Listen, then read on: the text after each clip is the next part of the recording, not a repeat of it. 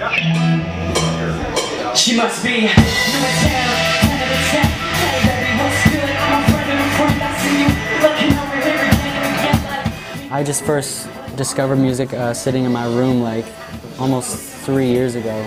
Um, I didn't discover music then, but I discovered like the, the process of how it's made, you know what I mean? So um, that was really what I focused on first. I like started just recording stuff for fun, submitted to some contests and stuff, um, and it just it kind of snowballed from there. Like I started working with management, writing songs, and that was a that was a big thing too, learning how to write.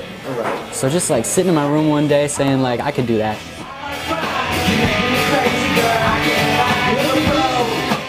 When I was first starting out, it was kind of intimidating because it was like everyone was like, "Who's this kid with the Bieber hair?" and you know what I mean. Like it was like that, and my songs were whack.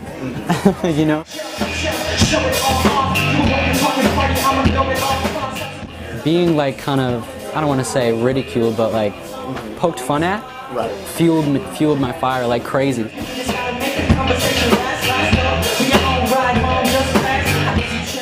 I really grew up in that Celtic music environment.